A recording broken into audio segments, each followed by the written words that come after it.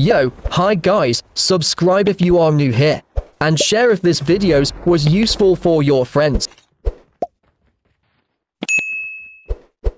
If you are looking for how to get 60 FPS and improving performance while playing heavy games, then you are watching the right videos. Okay? So in this videos I will using GFX Tools Game Tuner to unlock 60 FPS and get some improvement performance. Don't worry. This method is 100% safe and not cause any risk into your account. Alright, make sure to download all the stuff on my descriptions and let's go into the tutorials.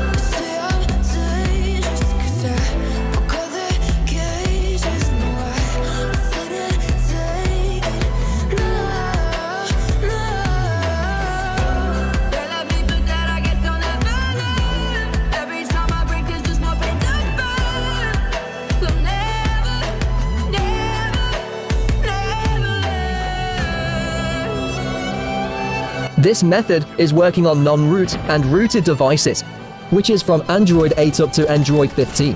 But pay attention. Your device should be rooted if you want to unlock up to 60 FPS, and if your device was non-rooted, you can still use this method to overlocking and improving significant performance. Oh, I forgot some important things. You can next with any config from my channel if you are playing COD Mobile. So make sure to check my playlist from link on descriptions. Okay soldiers, hope this videos will help you and see ya.